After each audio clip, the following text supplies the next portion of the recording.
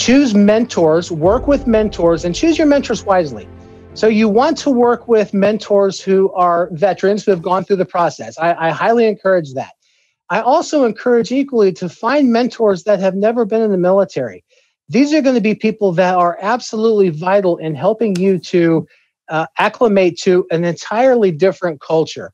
And now, when you're choosing mentors, you're going to want to make sure you're choosing folks that have successful careers, that have developed and built successful careers, and ideally, you want to find people that are that um, uh, have the time and are doing some things that you potentially may want to do.